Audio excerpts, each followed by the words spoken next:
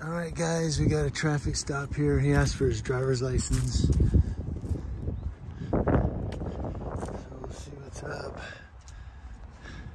So they're out here doing it. That's a good thing to see in some respects because people, I've seen probably, uh, I've driven to work Wednesday and Thursday because they have us working from home couple days a week.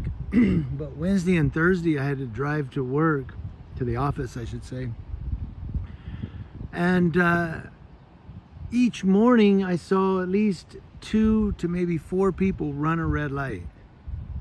You know, the light's red and you get ready to go, boom, they go right through it. You're like, what the hell? Now I can see if, um, you know, it's an accident, like you're like, oh my God, the light was red. Did I just go through a red light? Know, I could see that. But to happen over and over with two to four people a day, and that's just my commute to work. That doesn't include what happens, you know, when I'm not driving through town. What am I talking about? You guys are probably like, dude, what are you smoking? No, what I'm saying is, uh,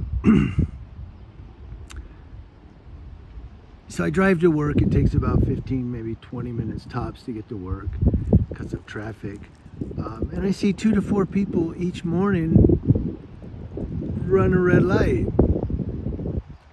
So then uh, you think about the rest of the day, you know, that people are um, driving through town. So uh, I guess there's probably 30, 40 people a day that go through red lights in town.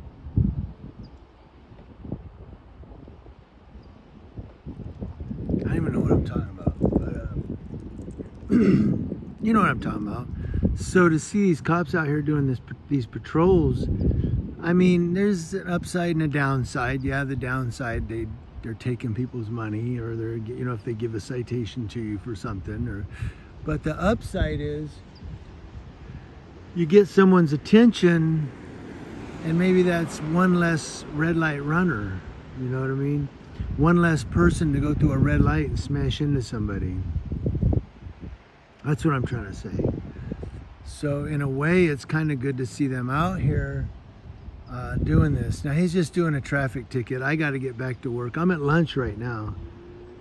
I had a good chicken salad sandwich and some fruit. And uh, it's time to get back to work. I just thought I'd let you guys know in Yucaipa, they're out here. And they are slowing people down.